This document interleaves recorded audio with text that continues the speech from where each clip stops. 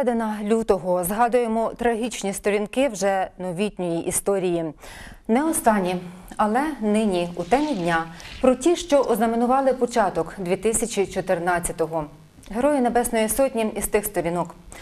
І гортаємо їх з Іриною Тимчук, е, активною учасницею Революції Гідності, волонтеркою, та Володимиром Лук'янчуком, членом Ради Майдану та автором книги Листопаду Кривавого слід. Доброго вам здоров'я! Добрий вечір. У прямому ефірі для вас працюють Олена Каменяш, на мову жестів перекладає Оксана Фіновська. Вітаємо. Скажіть, шановні, чи можете пригадати ці от людневі дні 4 роки тому? От чим займалися, що відчували тоді? Прошу, Володимир Федорович. 20 лютого 2014 року я, будучи головою комітету Ради Майдану з питань медицини і соціального захисту, організовував, як лікар, організовував розшук людей, які були які поранені в Києві, перш за все. Так, тому що в той час е, людей вивозили поранених е, різним транспортом і в різні лікувально-профілактичні заклади міста Києва. Чому я кажу різним транспортом? Тому що коли люди добиралися, були випадки, коли людей викрадали невідомі особи з лікарень, і люди просто боялися офіційно знаходитися в цих лікарнях. От. І оскільки я закінчив Київський медичний інститут, в мене дуже багато друзів залишилося в Києві працювати в різних лікарнях на різних посадах. І от мені приходилось розшукувати, перш за все, наших людей, людей з Хмельницької області, в яких лікарнях вони знаходяться, адже було важко їх розшукати. Я тримав зв'язок е, Майдан СОС, яку очолювала е, значить, е, в Києві. Продовжуйте, будь ласка. так, е, і волонтери, які працювали на Майдані, так, значить, і по лікарнях. Е, Мені вдавалося в інтернеті, мені вдавалося їх розшукати, узнати, в якому вони стані, організовувати, е, спостереження за наданням медичної допомоги, а потім е, доставляти їх в Хмельницький в наші обласні лікувальні, лікувальні, перш за все, обласну лікарню. Тому що багато у нас були випадки, коли із Львова, з Тернополя, з Тернополя хлопець лежав, ще ну, молодий хлопчина, ми його доставили в обласну дитячу лікарню, зі Львова в обласну лікарню. От, і вони вже потім тут, в Хмельницькому, перебували на стаціонарному лікуванні. Я їх всіх відвідував, значить, е, питав, як вони себе почувають, яка потрібна допомога. І ті, які перебували в Києві, мені приходилося е, значить, займатися питанням їх організації чи контролем навіть е, доставки в лікувальні заклади інших країн. Адже е, по потерпілих, поранених, перш за все, лікували в країнах е, в інших країнах. Це такі нам допомагали країни, як е, Чехія. Я, будучи тут в Раді Майдану, значить, мав можливість зв'язатися з діаспорою польською і чешською. І от коли вже наших хлопців відправляли ми туди на лікування, я потім через цю діаспору значить, надавав їм ці дані, і навіть не тільки наші мешканці чи люди, які проживали в Чехії чи в Польщі, а навіть самі люди, поляки і чехи, провідували наших хлопців. Це не тільки впливало матеріально, що їм треба було якісь продукти Володимире доставити. Федоровичу, е, ми Да. на хвилиночку призупинимося, тому що є телефонний дзвінок. Послухаємо слухача, е, глядача і повернемося. Е, Добрий вечір, слухаємо вас. Э, Добрый вечер. Добрий вечір. Э, Конечно, мы все скорбим по тем ребятам, которые погибли за свободу и независимость. Но вот у меня конкретное питание. Все-таки с какой целью, вот был у нас Хмельницкий, я наблюдал это своими глазами, когда штурмовали э, здание службы безпеки – это режимный объект, в котором находились сотни единиц оружия, выбухивки. И те а- активисты, которые это рабы, они знали это прекрасно. Могло произойти такой взрыв, чтобы там не выдержали вот эти близлежащие дома. Ну зачем, нам- нам- что оно мешало это? Ну отцепили бы это здание, никого бы не выпускали там оттуда и все. Ну зачем это вот кидать туда зажигательные эти бутылки, чтобы это же серьезное дело. Ведь если, значит, э, так разбираться, Нам, так... нам зрозуміло, такой зрозуміло. объект, если нападает, значит, часовой, который там стоит, Зрозуміло, про що ви говорите. Дякуємо за дзвінок. Сподіваємося, що настане той час, коли відповідні служби розберуться у всіх ситуаціях, і це буде приводом для наступної теми. Ми у нас буде сюжет про події біля СБУ, але це буде трошки пізніше. А поки продовжимо. Будь ласка, пані Ірино, пригадайте свої, е, свої справи, чим ви займалися в ті дні лютневі. Ну, в ці дні я була на своєму звичному робочому місці. В місті Хмельницькому ми займаємося вантажними перевезеннями. Ну і саме е, намагалися якось впорядкувати свої дії, тому що це було неможливо. У нас е, 18 лютого вкрали е, вантажівку з побутовою технікою, і ми нічого не могли з цим зробити, так як органи були бездіяльні. Ми не могли ні заяви написати, нас ніхто не приймав і. Скажімо, ми її так і втратили. Потім вже по слідах, коли почали слідкувати, видзвонювати, звертатися до знайомих, по там, де машини розвантажили, ми дізналися, що цей вантаж просто виїхав в Росію. Його перегрузили на заправці в іншу машину і е, забрали. Звичайно. Ми жодних компенсацій не отримали і сказали, що це просто були шахрайські дії і воєнний військовий стан, і ніхто нічого не може зробити. От така з нами була ситуація. Е, Ще один маємо дзвіночок. Да, слухаємо уважно. Добрий вечір. Алло, добрий вечір, студія. Добрий вечір. Ми зараз е, говоримо про дуже складні, героїчні і водночас трагічні події на Майдані. Але я хочу сказати, що пора переходити до того, що ми маємо після Майдану. А після Майдану ми маємо цілковиту зраду, зраду майданівців, зраду Майдану. Ніхто не покараний, бандюки сидять на місці. А нам по телевізору все одно розказують, як то було. Ми дуже знаємо, як це було. Треба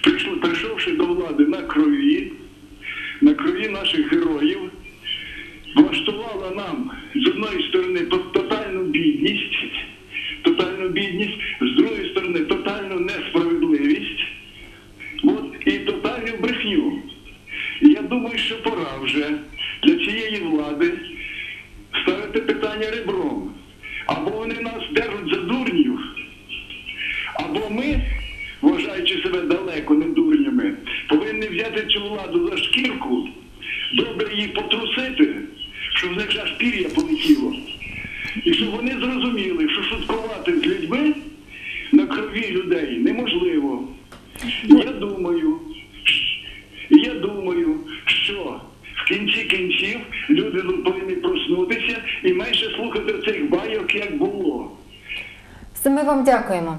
Дякуємо. Ну, я вважаю, що Майдан був початком. Я згідна е, з, е, людиною, яка телефонувала, але треба чогось починати. Ну, ми нарешті, правда, час дуже довгий, але ми сильні, ми віримо. І е, Майдан був початком. Я думаю, що це наносить наступний Майдан, і вже не такий, а більше буде він радикальніший, скажімо так. Але Майдан був початком, і з чогось треба було починати. Пані Ірино, а на тому майдані, про який йде мова зараз, ви були е, з донькою маленькою. Ще так? Скільки так, тоді було? сім років е, ми були. Тоді ще був спокійний майдан, це був листопад. Це останній день був спокійного майдану. Але так як ми стояли кілька днів і вже ну, дитя було втомлене, то прийняли рішення їхати додому. І коли вже ну, були в Житомирі, то передзвонила мама і з сльозами, де ви, чи ви дійсно виїхали? Ви бачите, що ви чуєте, що там робиться. Ну ми так по радіо чули так е, кусочками.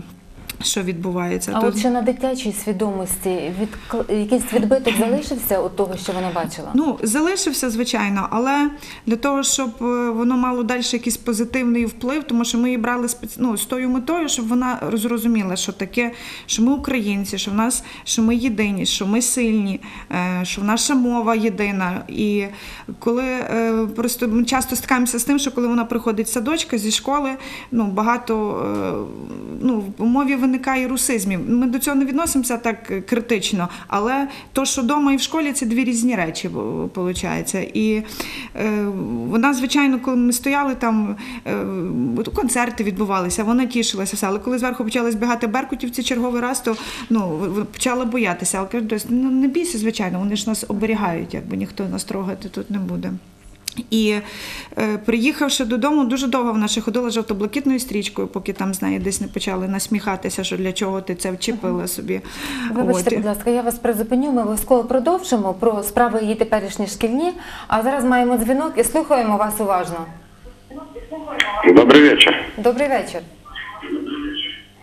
Я хотел бы спросить вас, как вы думаете, этот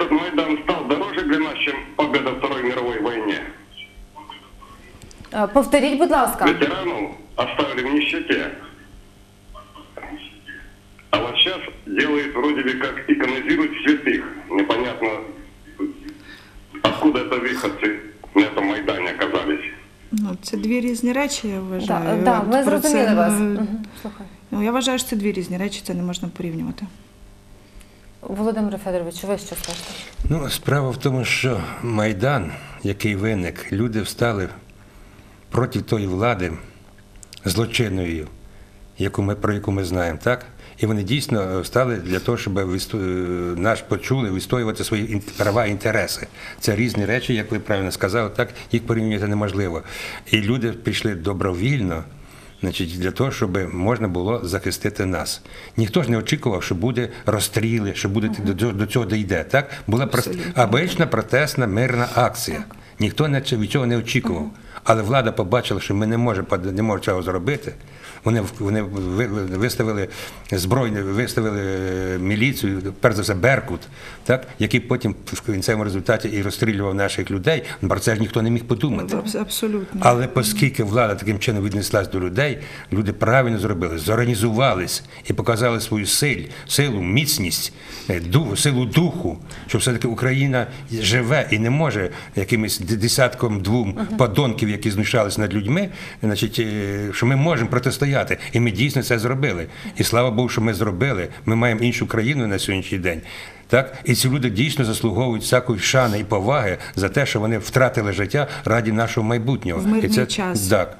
Розумієте, вони йшли незахищені під кулі, як кажуть, і так і їм тільки шана і повага. Ми можемо тільки кажуть, завжди пам'ятати про цей їх героїзм. І ще маємо дзвінок. Давайте послухаємо Ірину. Повернемося до е, школи і до навчання дитини. Е, Слухаємо вас. Добрий вечір. Добрий вечір.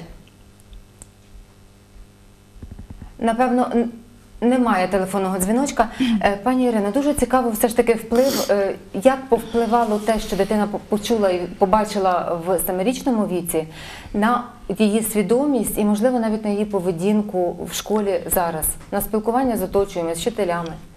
Що стосується поведінки, коли е, грає гімн України, вона не соромиться ставити руку на серце, е, що не скажеш там про інших викладачів навіть. І, і якщо раніше вона мене дергала за руку, казала, мама, опусти, ну бо ніхто цього не робить, то зараз вона це робить е, самостійно.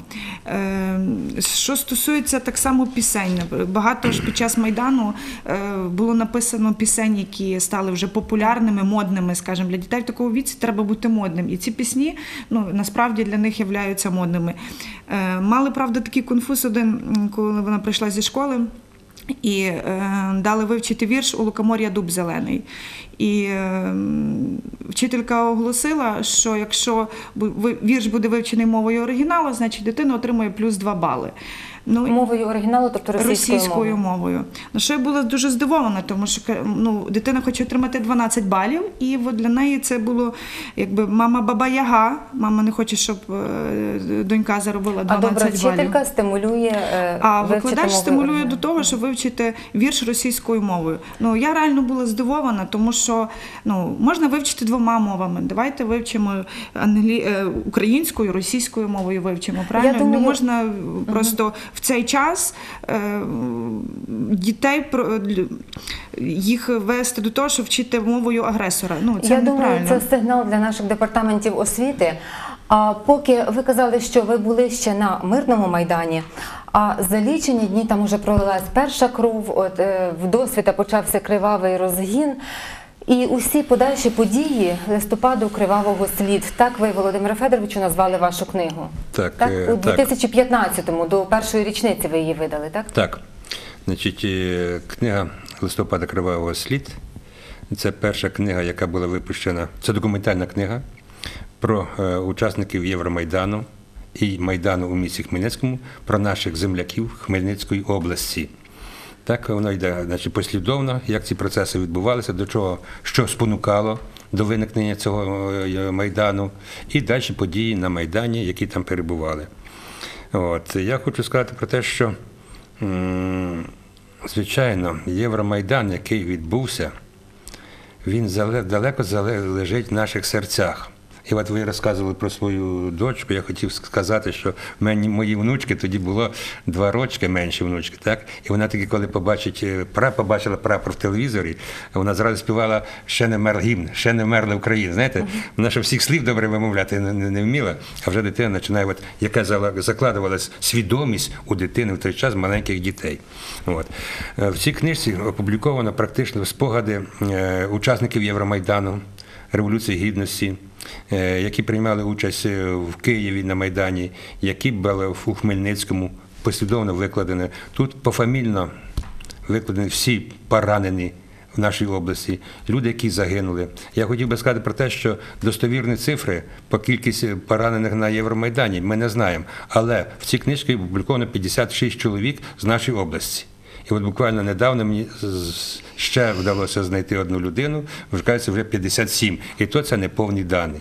Точно так же, як ми знаємо, що на Майдані було загинуло, значить, е, по різних джерелах, ну, 10, 11, 12 чоловік. А фактично я, я в цій книжці опубліковано 14 чоловік. І от е, двоє із них, сім'я, які були вивезені в Крим, вони там на, на їхній машині, вони там відомості є про те, що вони там загинули.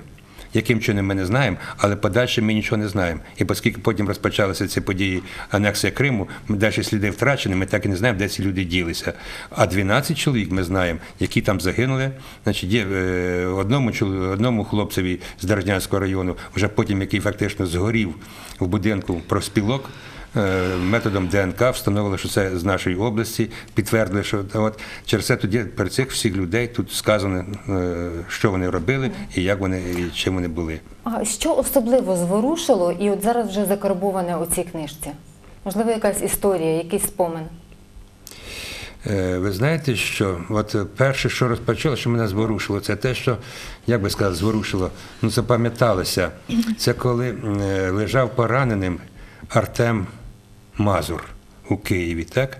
І от його мали, мали його відправити на лікування або в Ізраїль, або в Німеччину. Але виникла проблема, е, в нього не було закордонного паспорта. І от тоді до мене звернувся Артемів брат Антон. Е, Так, і ми старалися як можна швидше. Буквально на протязі двох днів ми е, зробили йому цей закордонний паспорт. І поки він поїхав в Київ, дзвонить вже по телефону, на жаль, Артем помер.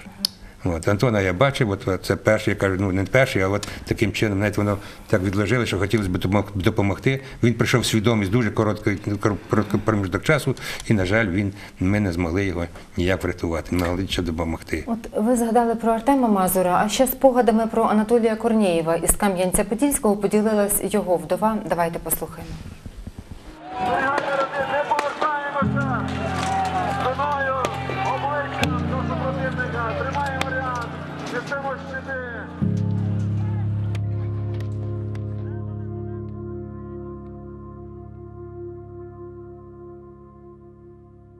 Мій чоловік був, ви знаєте, надзвичайно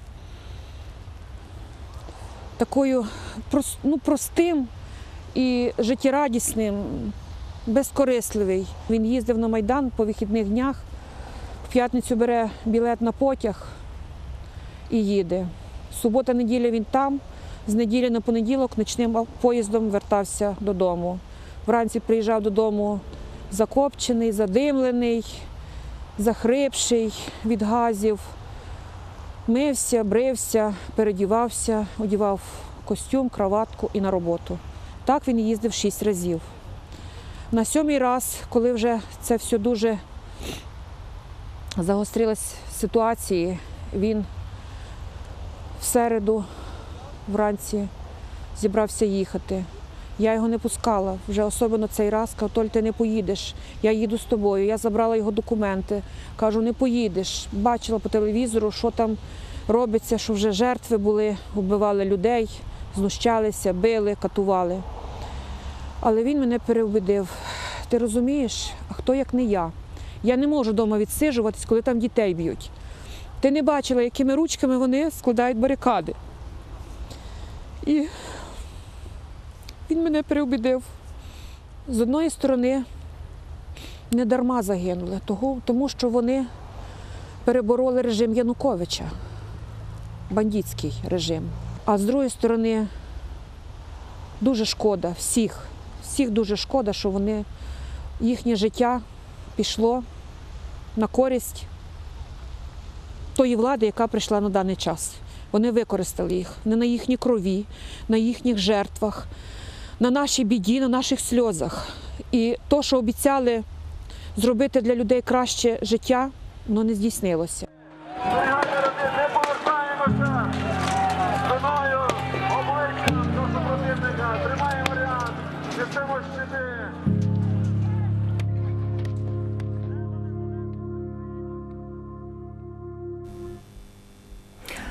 Такий сьогодні день. Давайте згадаємо всіх подолян, які віддали життя за шанс нашої країни стати іншою.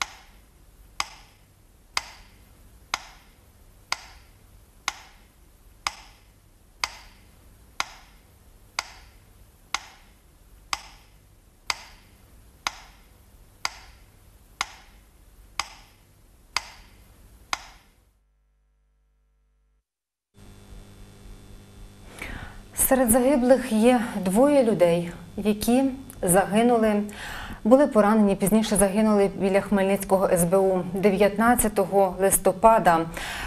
Апогеєм Майдану Хмельницького було насправді 19 листопада, були загиблі, поранені.